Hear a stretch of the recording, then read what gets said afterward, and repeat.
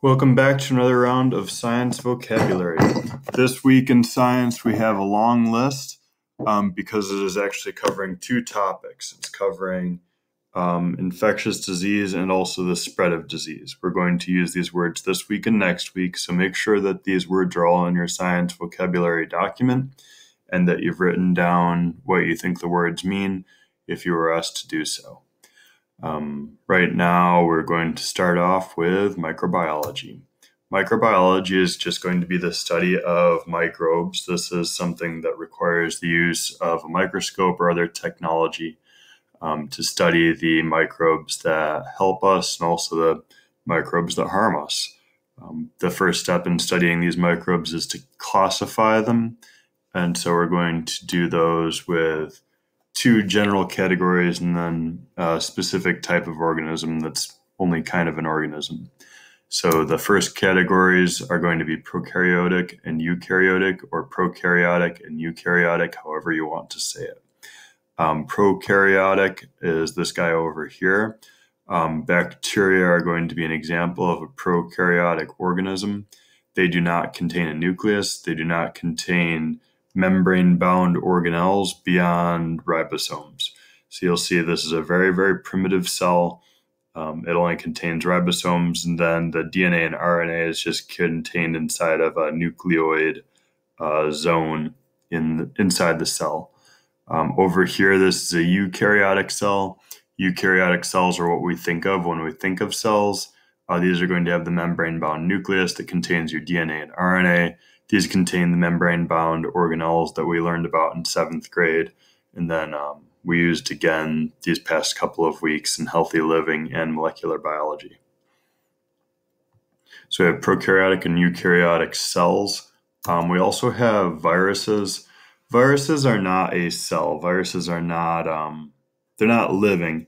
Uh, viruses are going to be a container um, of various shapes and that container is going to hold either DNA or RNA, but never both.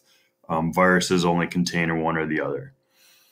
These DNA or RNA are going to be surrounded by a capsule, and that capsule is going to be covered with little proteins that can latch on to specific types of cells. Um, different viruses can infect different specific types of cells um, that's why you can't necessarily get a virus that uh, affects a different animal. Um, and also why if a virus that typically affects animal like bird flu or something like that spreads to humans, it's so devastating uh, because that virus is going to be new to us. Um, viruses are very, very specialized. They infect a cell uh, by injecting their DNA or RNA into it, take over the cell, destroy the cell to form new virus, and then those viruses spread. An example of a virus would be the influenza virus. The influenza virus is the virus that causes the flu. So, viruses are not a living organism, but they can infect living organisms to carry on their life functions and reproduce. Now, bacteria. Uh, bacteria are going to be a prokaryotic organism um, they can be single, they are single celled, but can be colonial, meaning they live together as a clump. Um, most bacteria in our lives are going to be good or neutral. Um, some bacteria are bad, and those are going to cause infections and diseases. Uh, some examples would be these um, lacto family of bacteria that live inside of our bodies and help us digest our food. Um, some bad diseases be Clostridium and Staph and E. coli um, that can cause infections or make us sick.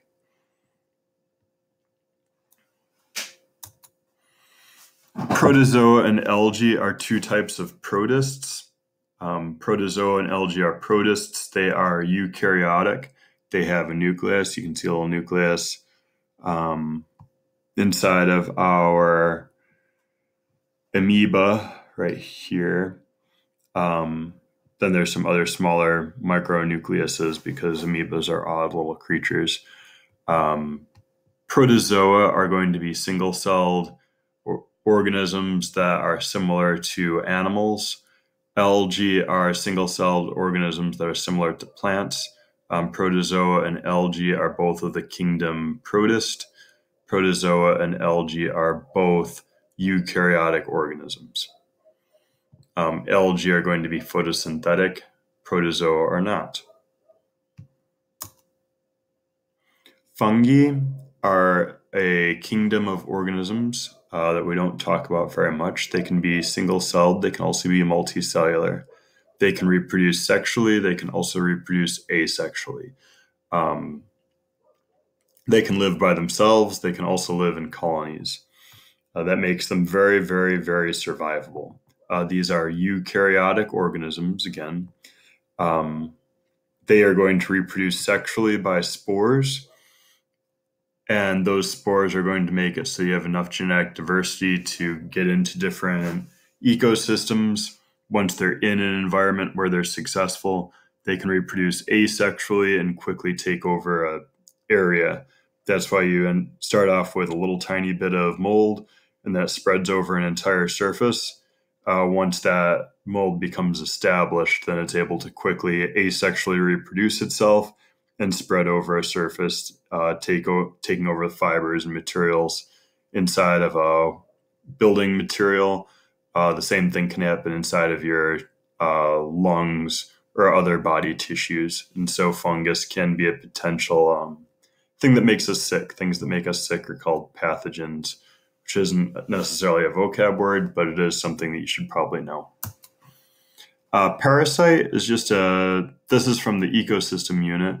Uh, this is a type of symbiotic relationship where an organism lives inside of another organism. Um, the parasite is successful, but it harms the host organism. Uh, viruses are parasitic in nature. Um, some protists, like um, protozoa like that amoeba, uh, those can be uh, parasitic as well. So you can have these different microbes that we're learning about uh, infect a host and harm that host, and thereby become parasites or have a parasitic relationship with their host. Infectious versus contagious. Um, infectious means that you have um, some sort of a microbe that is able to infect a surface, like a infected wound. Uh, in the case of these two staph infections, um, you could have contaminated food uh, that infects your small intestine or large intestinal tract, makes you sick. Um, that infectious disease is going to come from the environment and affect uh, organism that lives in the environment. Contagious diseases are going to be spread from organism to organism um, by breathing, coughing, infecting surfaces, things like that. Um, so the infectious disease is just going to be some sort of environmental organism, like a bacteria that just happens to be living there and is picked up by um, you or some other organism. The contagious disease is going to be something that is spread from person to person or from animal to animal. Last words for the week are outbreak, epidemic, and pandemic. So these are three different ways to describe a contagious disease. Um, an outbreak and epidemic are very, very similar. Uh, outbreak would be if people in a small area, let's say Gravelly Hill, were to all get the same disease, then you'd say you have an outbreak of this disease at Gravelly Hill. Um, if you were to scale that up and you had uh, Orange County and Durham counties were all being affected by the same disease, then you would say that you have an epidemic of that disease. Now, if you scale that up to cross regional boundaries, um, then you'd have a pandemic. So here you can see like this is an epidemic that is happening in northwestern South America and then a pandemic version of that would have spread throughout South America and Central and North America as well. Um, that is, these are the words for the week. Um, I hope that you have a good week in science.